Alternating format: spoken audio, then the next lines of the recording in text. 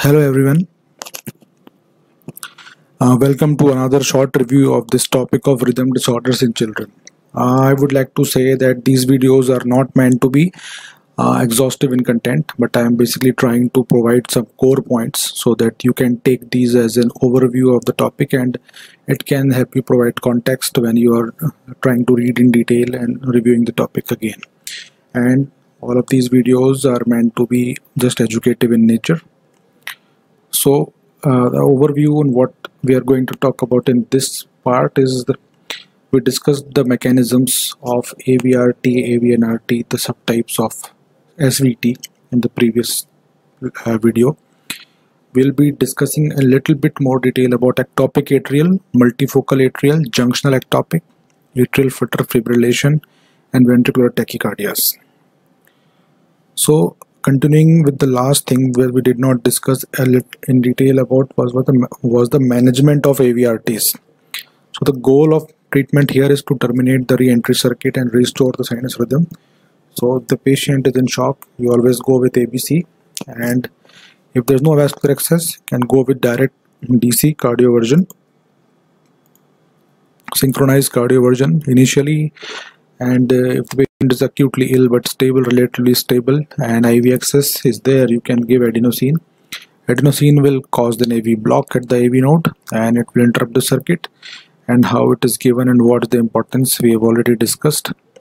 So adenosine apart from being used here it has other many more diagnostic uses when we are managing arrhythmias. So its effect is not just confined to the AV node but it also affects the ectopic atrial tachycardias, junctional tachycardias, intra-atrial re-entry tachycardias, and certain ventricular tachycardias. Uh, the thing is that during administration we have to be cautious about hemodynamic collapse because it uh, it can cause sometimes if it doesn't work it can cause increase in tachycardia and fibrillation also so cardiac defibrillator should always be at bedside when we are using this drug for either therapeutic or diagnostic purpose digoxin can be used but takes a lot of time. Not used in acute situations. So the management is later situations uh, uh, after initial stabilization beta blockers procainamide and amiodarone uh, digoxin and beta blockers they can enhance antegrade conduction uh, down the accessory pathway. So they can allow for a more rapid ventricular response during atrial flutter or fibrillation.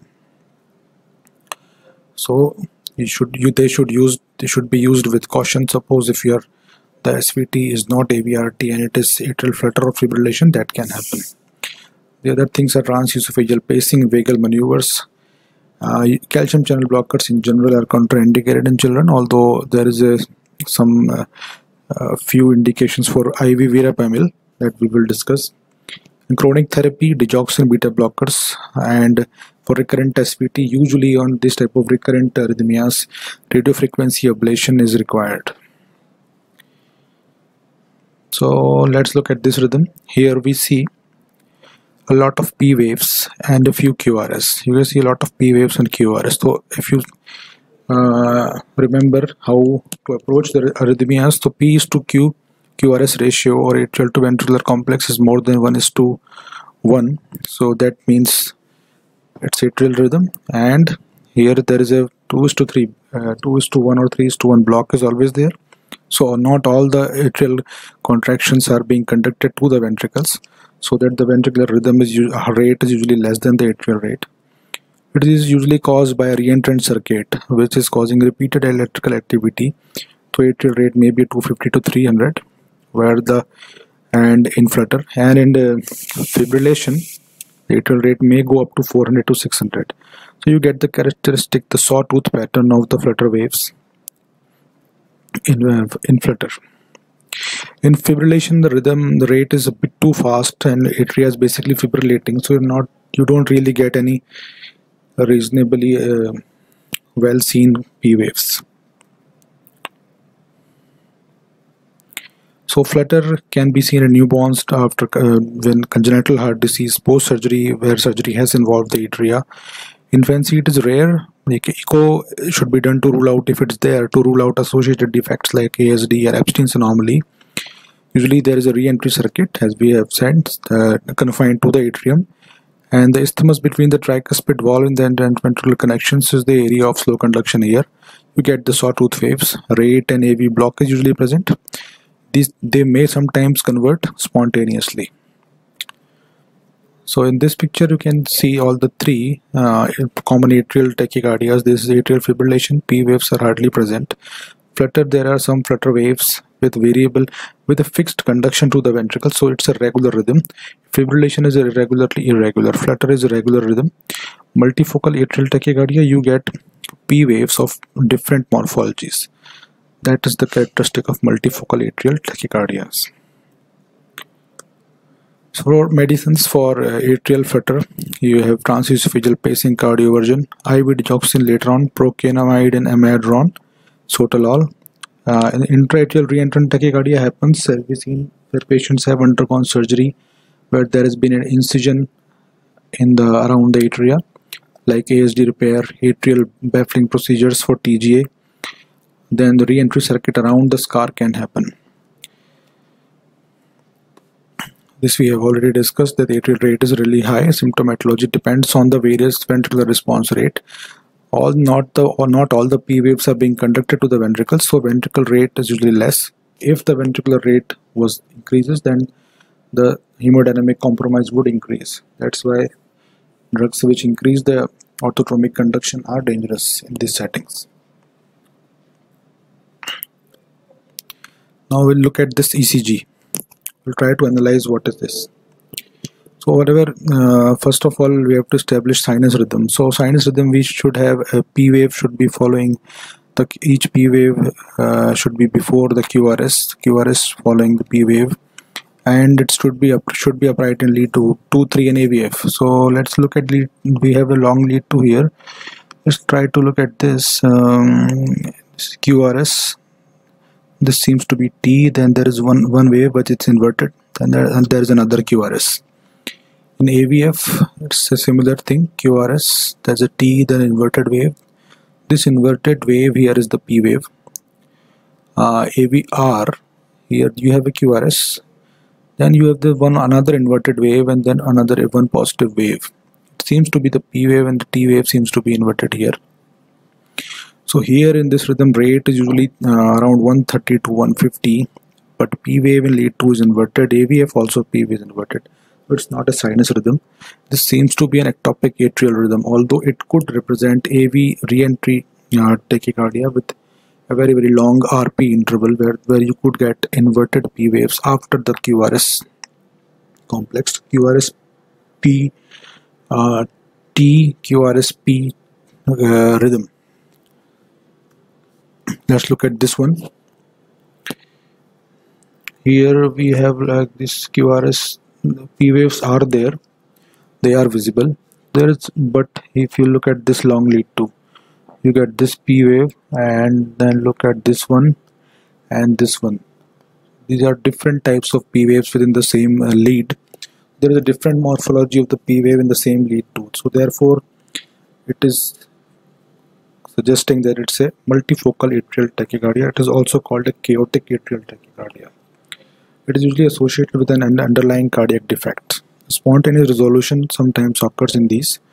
So the management principles in these type of rhythms is these are basically increased automaticity type of tachycardia. So we have to decrease the automaticity of the focus.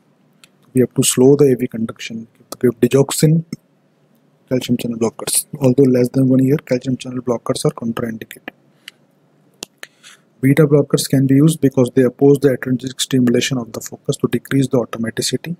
Class 1A uh, agents such as procainamide, class 1C such as and propafenone, they act by depressing automaticity and they increase the refractoriness. Class 3 agents such as uh, this one amiodarone and sotalol, they can also slow conduction throughout the myocardium. Uh, so they will slow the conduction throughout the myocardium, therefore they would also slow the conduction in the abnormal focus also. So overall they can be useful in managing this increased automaticity type of tachycardias the ectopic atrial and the multifocal atrial. Spontaneous resolution of ectopic is in the relatively older patients unlikely. And catheter ablation tends to be usually the first line therapy younger patients resolution of EAT is uh, spontaneous resolution is relatively more common. For refractory type of ectopic atrial and multifocal atrial catheter ablation is the treatment of choice. Sometimes when it's really going out of control then adenosine overdrive pacing cardioversion can be tried but they're usually not very useful now let's look at this ECG here let's look at lead 2 so here you can see the P waves are somewhat present but the ventricular rate and P vent wave seems not to be in sync. So there is a narrow QRS definitely. Uh, it's hardly two small squares. But the P waves is very sometimes present here sometimes within the QRS and uh, so let's say what could this be? Well we need a bit more uh, information. So basically uh, we can look at one more uh, rhythm here. Here we can see the QRS is narrow.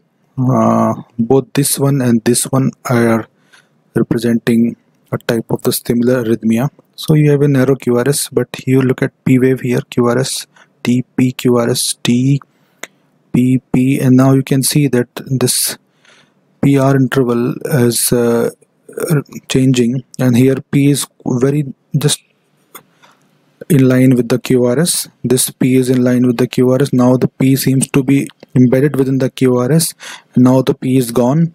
And as the rhythm progresses the P will appear again. So this is like a marching through the rhythm. This is AV dissociation and narrow QRS complex. This is suggestive of conduction within the ventricle and through the His-Purkinje system.